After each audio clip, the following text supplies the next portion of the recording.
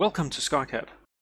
This short video will briefly show you how quick and easy it is to design a project. The first thing is to create a project and give it a name. I'll call it Conveyor Project. Design by me. Create a first sheet for the project. Choose the sheet size you want. I'll take A3, give it a name. I'll call it Mains.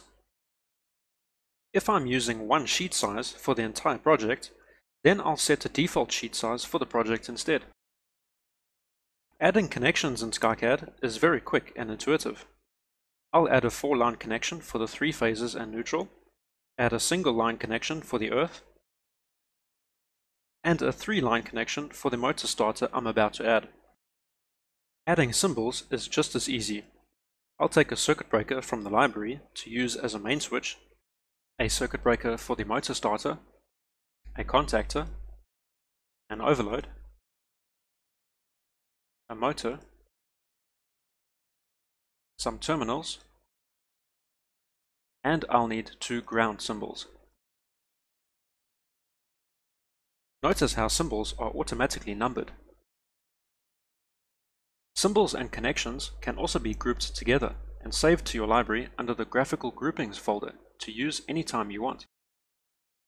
I'll insert a 3 horsepower motor starter and a control supply, complete with circuit breaker, terminals and e-stop.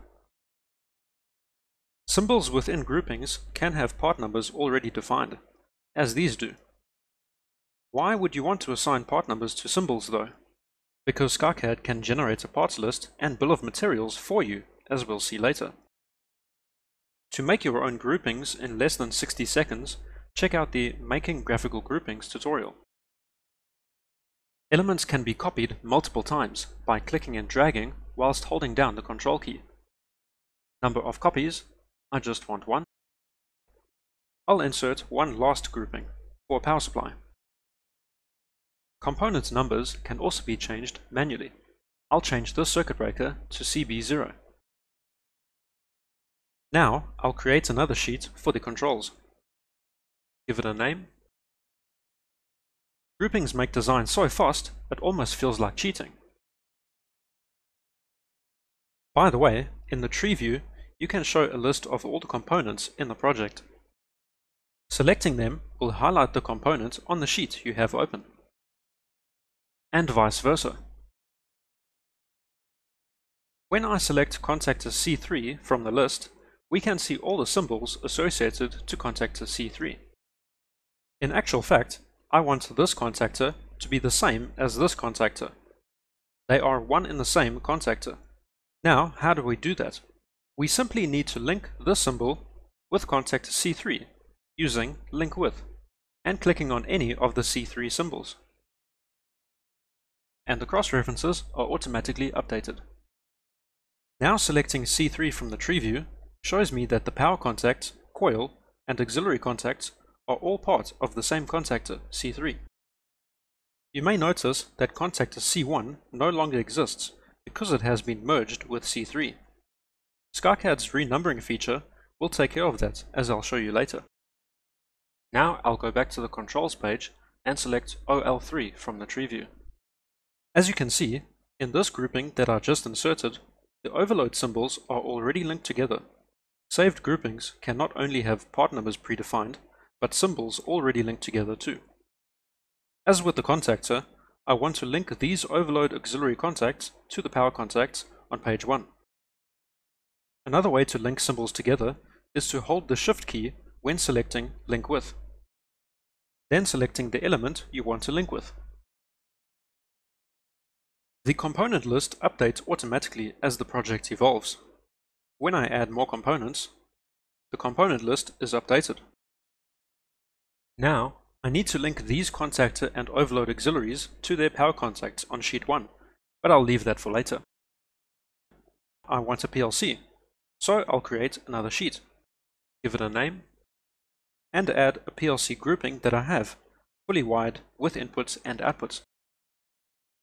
For this project, I don't need so many inputs and outputs, so I'll just delete what I don't need. You're probably wondering where this PLC came from. These PLCs come out of the box with SkyCAD. You can easily create more of your own using the block generator. If I open this PLC using the block generator, this is what the block generator looks like. To create a PLC, you define all the terminals using these buttons. Add digital output channel, add digital input channel, etc. Once you're done, click Generate Graphical Block, and your PLC is automatically generated and saved to the library, ready to be used. Back to our schematics, I need to link this feed to where it comes from. This is done using off-page references, or OPRs. Link the feed, and link the return. I'll spend a few seconds to link the rest, as well as link the remaining symbols that need to be linked. Adding wire numbers in SkyCAD is done with a single click. All my wires were numbered sequentially, and each have a unique number. This process applies to components and sheets also. A PLC block is different from other components in that it carries I.O. In the I.O. list, we can see and edit I.O. comments and see what components are connected to those I.O. I.O. lists in SkyCAD are automatically updated. If I add an I.O. comment to the I.O. connected to R2, it is automatically updated in the schematics. I'll navigate directly to the I.O. comment. Changing an I.O. comment on the PLC automatically updates in the I.O. list, as you can see. I'll take a moment to enter the rest of the IO comments. IO lists can be inserted onto your schematics. In this case, I'll just put it beside the PLC. Since I want SkyCAD to generate a parts list for me, I'll assign part numbers to symbols that still need it. Double-clicking a symbol allows us to change properties of the symbol, as well as assign a part number to it. Since this is a contactor, you're given a list of all the contacted part numbers in your SkyCAD catalog to choose from. I'll pick this one, click OK, and the part number is assigned to that symbol. To add more part numbers to the catalog, check out the Assigning Part Numbers tutorial. We can also view the parts list and, of course, assign part numbers to symbols from here too. If you are not sure where a symbol is located on your schematics, you can navigate to it. I'll take a moment now to assign part numbers to the rest of the symbols, so I can insert this parts list onto a sheet. I'll now insert this parts list while creating a new sheet in the process. Give it a name, and drop the parts list onto your sheet. As with all lists in SkyCAD, this parts list is automatically updated in real time as the project evolves. Notice how the parts list got longer to accommodate the new components. I'll hit undo because I don't want a motor starter there. Once you're proficient with SkyCAD, you can create a project from start to finish in less than 10 minutes, as I've done now, and everything you've seen so far comes with the free standard license. If you'd like to get started, we recommend starting with the tutorials.